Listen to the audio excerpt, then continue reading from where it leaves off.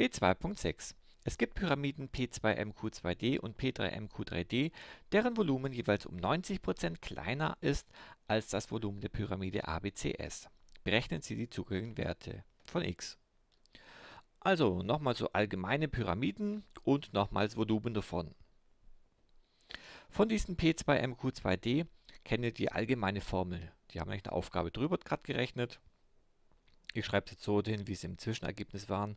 Volumen von der Pyramide, ähm, ja, schreibe ich gleich so, P2, äh, PN, M, QN, D ist gleich minus 1,26x Quadrat plus 12,64x. Ja, das, was nur Zwischenergebnis drin steht. Wo haben wir so? Hier oben. So, zusätzlich brauchen wir noch das Volumen der Pyramide ABCS. Das ist auch kein Problem, weil die haben wir in Aufgabe 2.2 schon berechnet. Ist gleich 180 Kubikzentimeter. So, jetzt müssen wir diese beiden nur noch gleichsetzen, aber allerdings noch eins beachten, nämlich hier diese 90% kleiner. Also diese P2MQ2D und P3MQ3D, die sind um jeweils 90% kleiner als ABCS. 90% kleiner heißt, es sind also noch 10% übrig. Ja, die sind 10% von dieser ABCS groß. Ansonsten würde jetzt stehen, sie sind 90% von ABCS. Aber wie gesagt, hier steht um 90% kleiner. Also auf diese kleine Stolperfalle aufpassen. So, daraus folgt also Volumen von PNMQND ist gleich 10% von der großen Pyramide und 10% ist nichts anderes als ein Wert von 0,1. Halt, schreibe ich es nochmal allgemein. Also 0,1 mal Volumen von ABCS. So, und jetzt können wir auch schon die, die Werte einsetzen.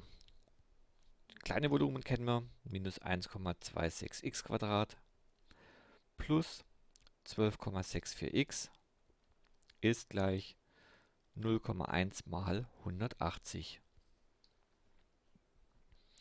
So, das muss jetzt gelöst werden. Wir haben eine quadratische Gleichung, erkennen wir hier an dem x-Quadrat.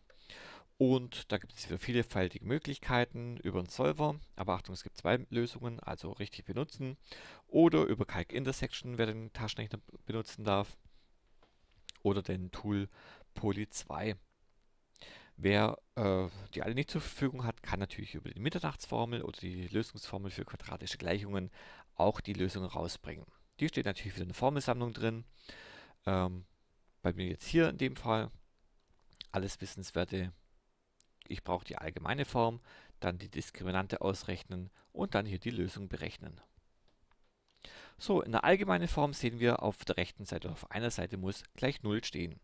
Also forme ich hier meine Gleichung um. Das schaffe ich am ehesten, wenn ich die rechte Seite wegbringe.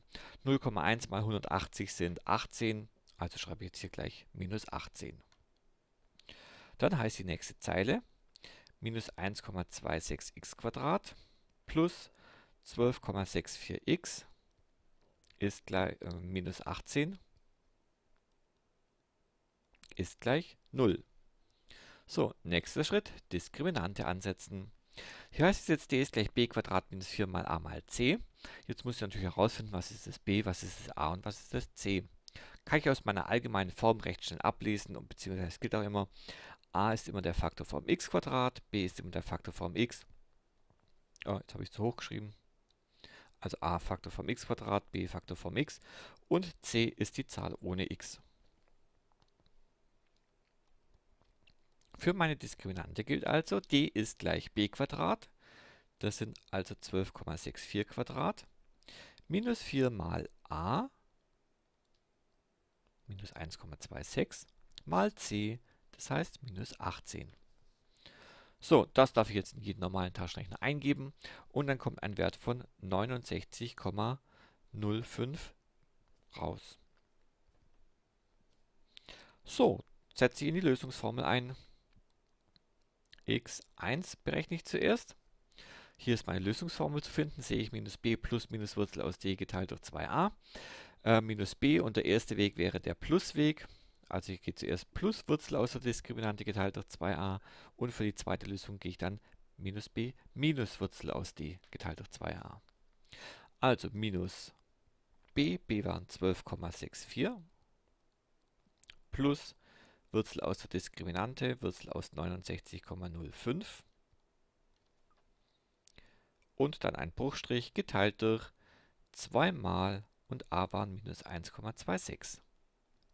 Ist gleich das jetzt wieder in den normalen Taschenrechner eintippen und dann kommen wir auf die 1,72. Erste Lösung gefunden. Wir brauchen noch die zweite Lösung, gleiches Spiel, minus b, diesmal minus, Wurzel aus der Diskriminante und nochmal geteilt durch 2a.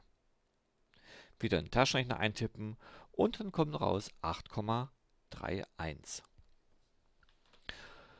So, als letztes vielleicht noch die Empfehlung, ähm, nachschauen, befinden sich diese zwei Werte überhaupt im Gültigkeitsbereich. Ähm, dafür muss ich jetzt gerade noch mal ein Stück weiter hochfahren. Hier heißt es jetzt zum Beispiel, x darf nur zwischen 0 und 10 liegen. Also hier nochmal überprüfen, ist es tatsächlich der Fall oder muss man eine Lösung rausstreichen.